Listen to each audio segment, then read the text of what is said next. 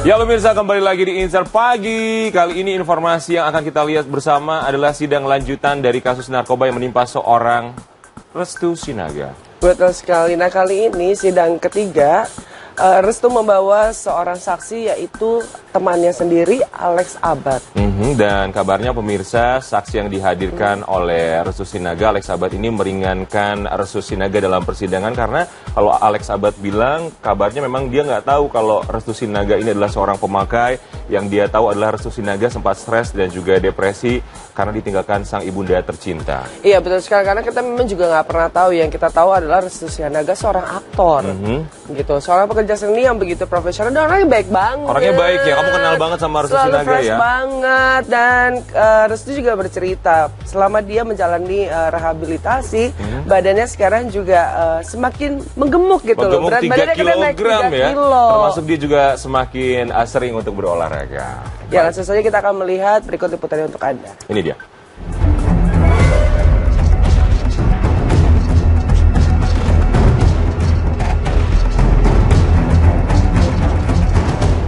Sidang kasus penyalahgunaan narkotika dan psikotropika yang menyeret aktor Restu Sinaga sebagai terdakwanya hari Kamis kemarin digelar di Pengadilan Negeri Jakarta Selatan. Dalam sidang yang beragendakan mendengarkan keterangan saksi tersebut, sejumlah saksi yang dihadirkan salah satunya aktor sekaligus sahabat Restu yaitu Alek Abad. Usai sidang digelar, Restu yang ditemui sejumlah awak media sempat menjelaskan jika dirinya sangat menyesali semua perbuatannya. Restu tak menampik hal tersebut lantaran semenjak ibundanya meninggal dunia dirinya mengalami depresi berat. Berapa lama? Kurang lebih tujuh delapan tahun. Saudara saudara saksi kan tadi dijelaskan orang selingan ya. Ada dengan saudara. Ada. Oh, Pertama saya kenal kerja bareng, jadi saya pikir oh ya udah kemarin bagus.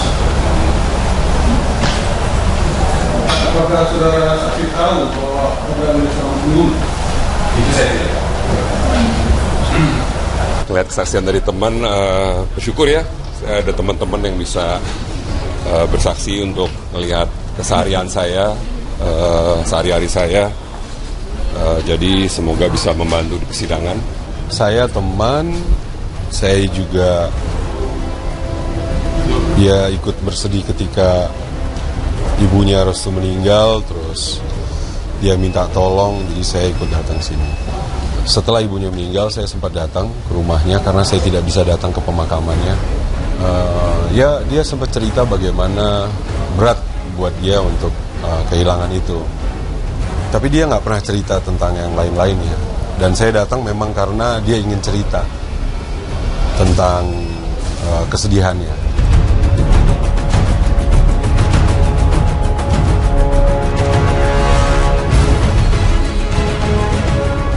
Restu mengaku senang karena proses rehabilitas dirinya dari ketergantungan narkoba tengah berjalan.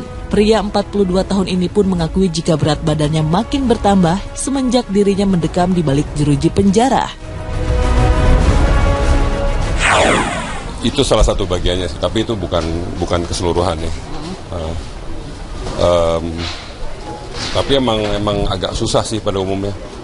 Apalagi kalau misalnya ada masalah lebih ya lebih susah lagi ya. Eh, lebih jadi banyak pikiran. Tapi kondisi sekarang seperti apa buat makan? Sekarang sehat. Thank you. Thank you. Eh, sekarang sehat sehat. Sekarang lebih sehat. Berat badan naik. Naik berapa? Aduh, berapa ya? 4 kilo kali. Sempat olahraga juga nggak mas? Sempet lah kalau enggak bete. Udah dulu ya, Mbak, Mas. Ya.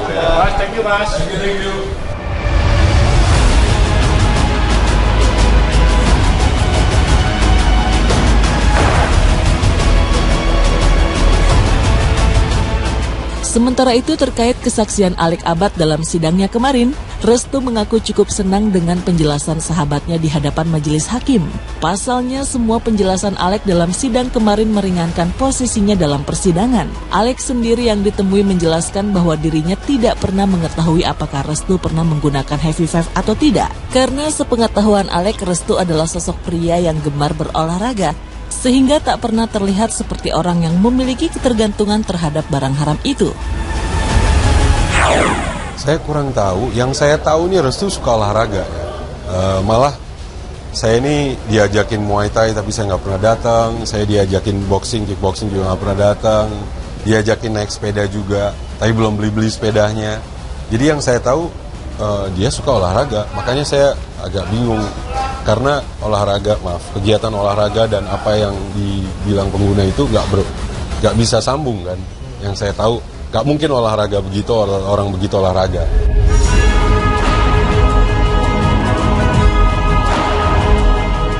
Masih dijelaskan Alex selama mengenal Restu, dirinya memang mengetahui Restu selalu mengalami situasi sulit tidur atau insomnia.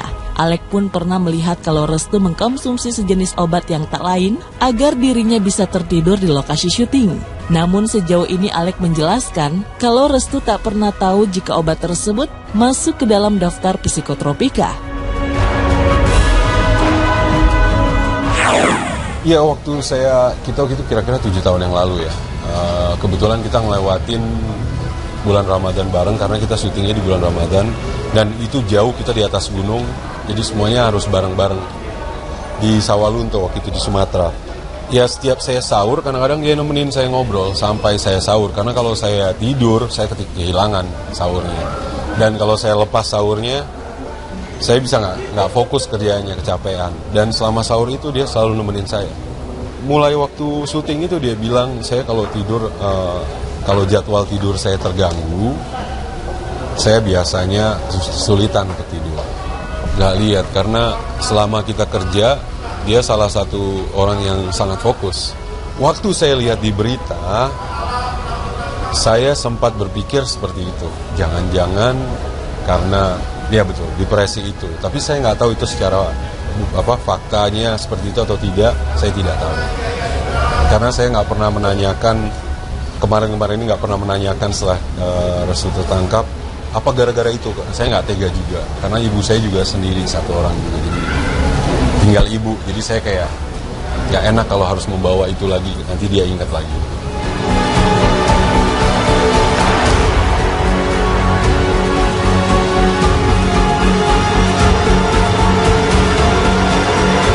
Karena ya betul depresi itu. Tapi saya nggak tahu itu secara apa faktanya seperti itu atau tidak saya tidak tahu karena saya nggak pernah menanyakan kemarin-kemarin ini nggak pernah menanyakan setelah uh, Restu tertangkap apa gara-gara itu saya nggak tega juga karena ibu saya juga sendiri satu orang juga jadi tinggal ibu jadi saya kayak nggak enak kalau harus membawa itu lagi nanti dia ingat lagi